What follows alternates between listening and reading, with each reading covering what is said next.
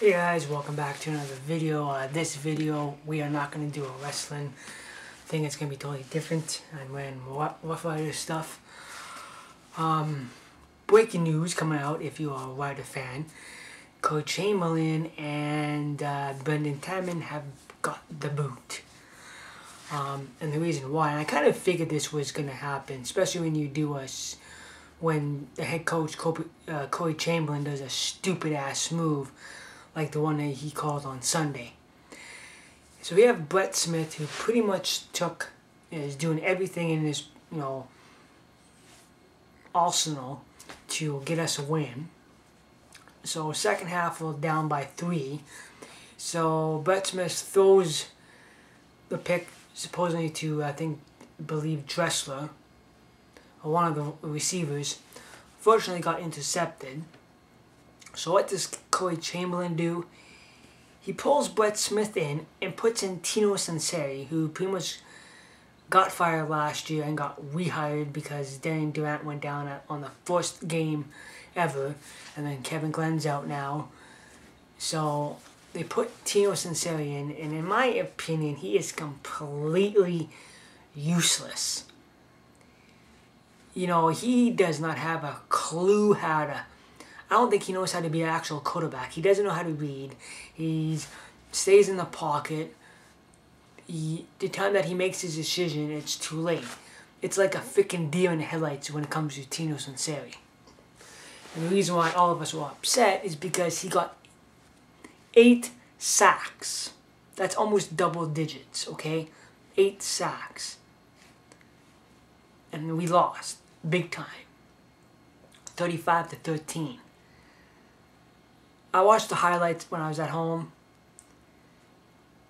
And again, he gets the ball, and then it's like, what do I do now? And then he gets sacked. Um, I'm glad they got they got rid of Chamblin. I kind of figured um, that you know Corey Chamblin is number is done. Uh, especially I can he you know, a few weeks ago, six weeks ago, he said he didn't give a damn what anybody else said and whatever, and he can go coach whenever he wants. I'm like, well, now you're at Chamblin, you can go and coach wherever you want.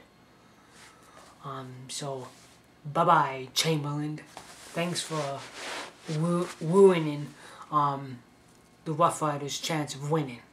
Now, another thing, i hopefully that doesn't damage Brett Smith, because now you pull a guy that's pretty much doing everything in his in his damn power to get us a damn win, and he throws one interception and you pull him. Like freaking seriously, and he put in a guy that has not won a freaking game, who gets sacked after sack after sack after sacked. Like, does that make sense? Hell no.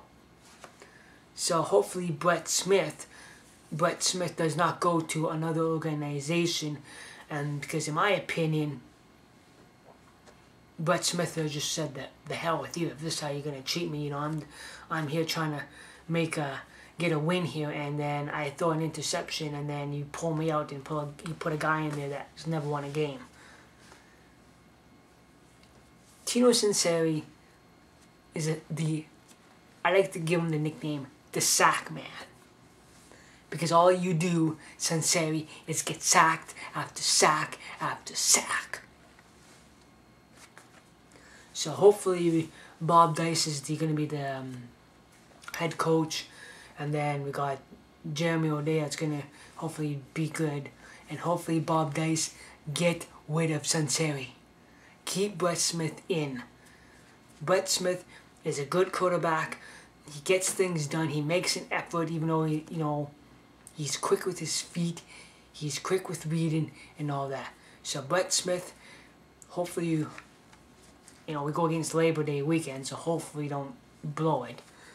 Um, but um, yeah, keep doing what you're doing, Brett Smith.